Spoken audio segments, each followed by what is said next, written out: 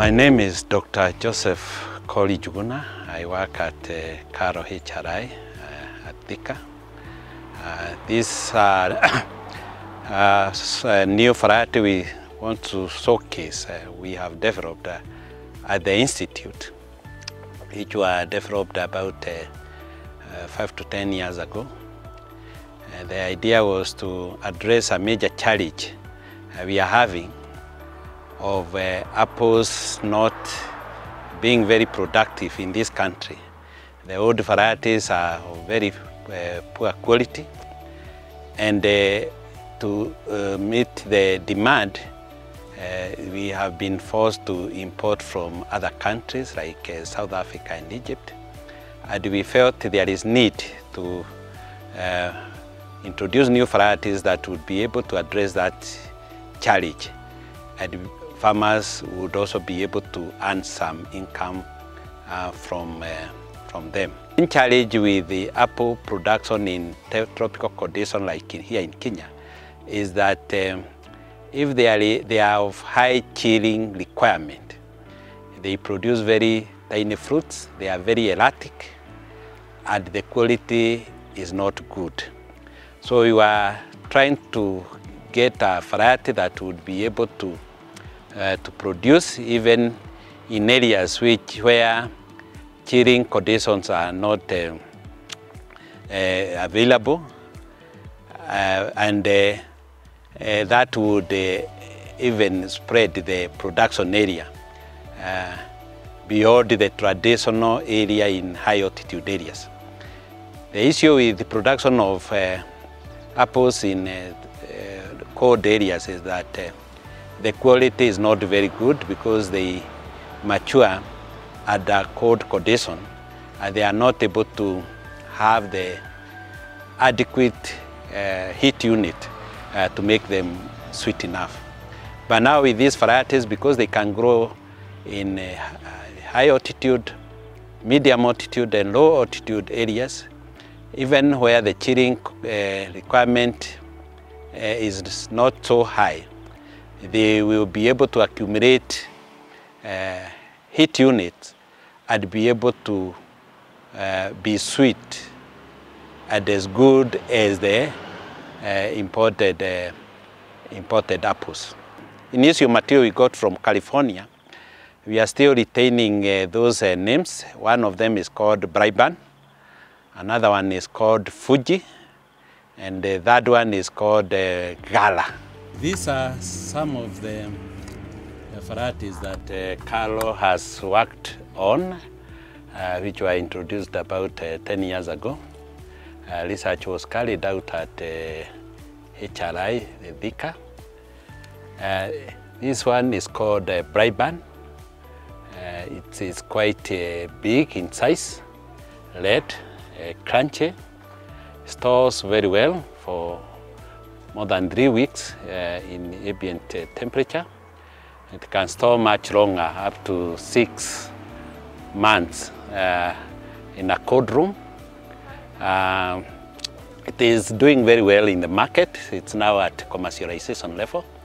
Uh, traders are preferring it uh, over the imported ones because of the size, uh, the shape, and also the aspect of uh, crunchiness, which is a, a major consideration by, by consumers. Uh, this one uh, has been uh, uh, here for around three years. Uh, you can see already there is heavy production. We expect optimum production in around five, five years. So a, there is a very high potential. Uh, the market is very receptive. Uh, the price is very good. Uh, the aim is to reduce the amount uh, imported and we uh, replace that with locally produced uh, apples because farmers will be able to get some good income, but also the traders will be able to access these uh, fruits very easily and even at a reasonable price. This variety is called uh, Fuji. Uh, the the texture of the skin is a little bit more smooth compared with the other, other varieties which were uh, have been researched by KALRO. Uh, the goodness with the Fuji is that it is very, very sweet. It's the sweetest, it is crunchy, it doesn't grow very big, but uh, it is, has very good, uh, very good eating quality. Uh, uh, and the, the market is really looking for it. Uh, so we expect with the time, uh, together with the other varieties, um, it will be adopted by farmers and slowly we will be able now to supply market from the local production instead of uh, imported fruits. This variety, and again another one that was uh, introduced by KALRO, is called Gala. It is, um, uh, it is variegated more than the earlier one, Braeburn. The size is not as big as the Braeburn, but it is very sweet and crunchy. It has been found to adapt very well in uh, medium altitude and high altitude areas, uh, but also in fairly low altitude uh, zones. It's also, it's also doing quite well. Uh, the, the beauty with these varieties is, is that uh, they are as good as the imported ones. They are even bigger in size. They are crunchy, they are colored, the shape is good. And I think that's why the market has been uh, very positive. They have been received very well. And uh, we expect that to continue as we continue to upscale uh, production. With the research now we are at a level of commercialization. There are already farmers who are producing uh, these varieties and they are very happy uh, because uh, they can now get uh, some income from them. Uh, from the market perspective, traders are quite receptive because they can now get apples locally at, a, at a, a good price and they are able to satisfy uh, the need of their, of their customers. Uh, we have actually developed uh, agronomic requirement for these varieties in terms of spacing, in terms of pruning, in terms of nutrition, which have led to improvement in terms of uh, productivity. For farmers who would like to optimize on production, uh, pruning is very crucial, and this also determines when the apples are coming to production. Uh, uh, pruning is done after harvesting as a preparation for the next season. Uh, it is done by removing all the dead, uh, dead woods, dead stalks. Uh, those which are infected, they are all removed so that you have a clean plant. The other very important thing is to open the center to allow for, for air circulation. So any branch that is crisscrossing the center is removed.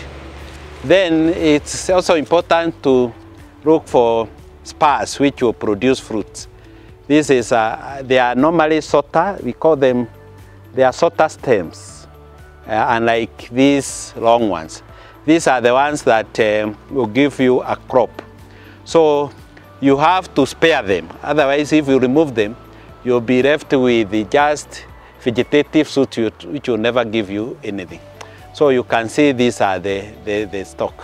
So open up the tree, then cut it at the top. Let it not grow beyond uh, five meters. That's the maximum. Uh, that is necessary for ease of management, spraying, and all that. Pruning, we are using it as a way of determining when you are going to get a crop. So you can now time the market when you have market and you count backwards four months, then you prune. Once you have pruned with the, uh, technique which we have developed that is uh, recommended. Then after, after two weeks after pruning, uh, they produce new shoots and they produce flowers. After four and a half to five months, you get a, you get a crop. So there is a possibility of getting two crops per year, depending on when you prune. And also to make sure that um, fruits are not beyond the reach of whoever would be harvesting. So once you have removed the, the, the, the unnecessary stalks, you cut the top to maintain the height. Then the other thing to stimulate um, uh, production of a new crop, you need to do what we call uh, defoliation.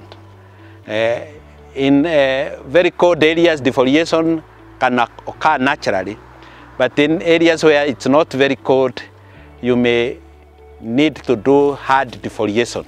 Hard defoliation just means once you have removed the unnecessary shoots, then you remove um, all the leaves because these shoots have inhibitory hormones which will not allow uh, new shoots and flowers to, to come up. So the, to remove that inhibition, you have to remove them and you are left with bare, uh, bare stems. Uh, so when now you have done that, these bare stems will produce new shoots and flowers at the same time. Spacing for apples, the recommended spacing is actually four meters between the plants and uh, four meters between uh, the rows. So it's four by four. Uh, you can, uh, if the soils are not very fertile, uh, that spacing can be reduced to three meters between the plants and the three meters between the plants.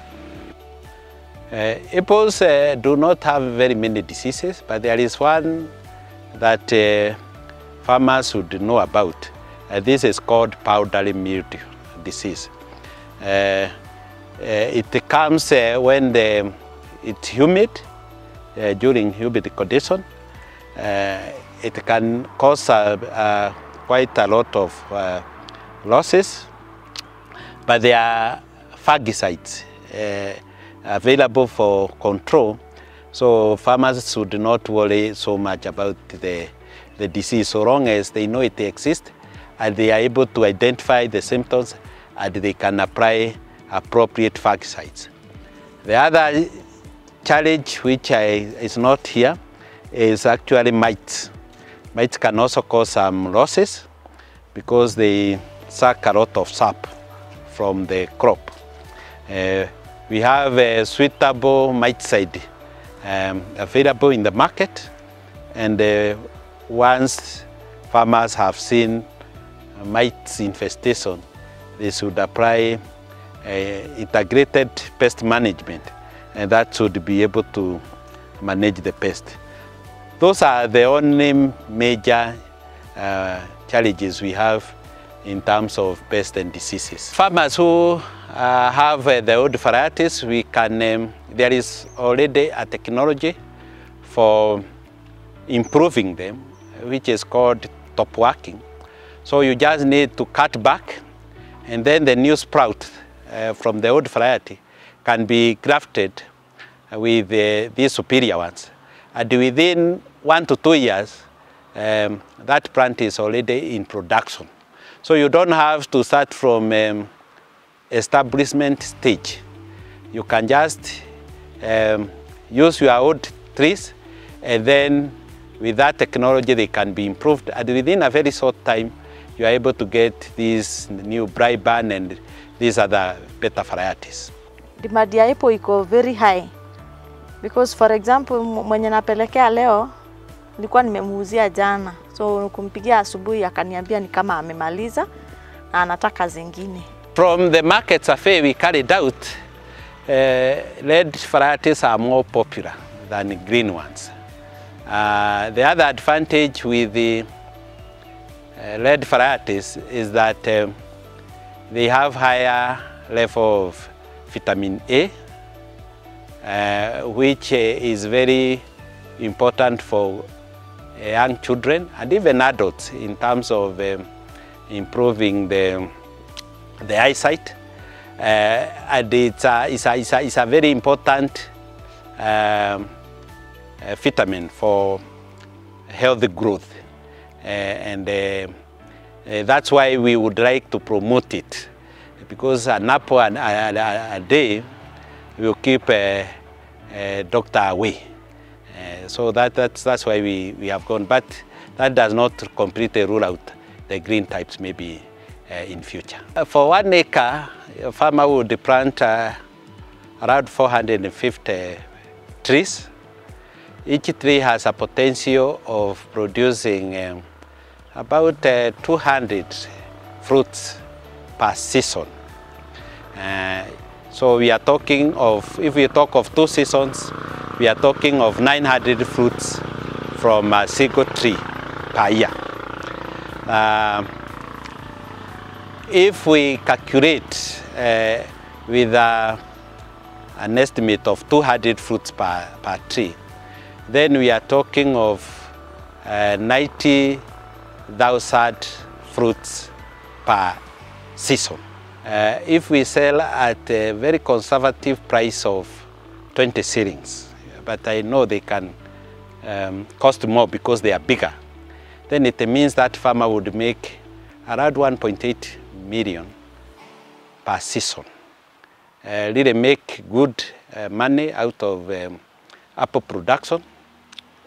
Uh, the cost of production is not so high because after uh, establishment, this is an orchard that will be there for even 50 years. Apple is, a, is an ideal crop. It's a climate smart crop. Uh, the goodness with apple is that it is quite drought tolerant. Uh, once it has established, it can do with minimal irrigation. Just the rainfall would sustain it. Uh, and it is not likely to fail to produce every season, even if there is um, uh, some level of drought. So it's a crop that can be adopted for, by farmers as we experience climate change. This is a crop that can do very well, even in areas where uh, rainfall has become uh, quite unreliable. Yeah, farmers can come to uh, farmers can come to KALRO HRI. We have seedlings. We are selling at uh, 400 shillings each. And they are available and they will get all the require, required information on how to produce them, what to do, and they will get some um, handout on uh, the, the, the, the, the, the, information on um, the requirement in the field. Apple production is a profitable venture.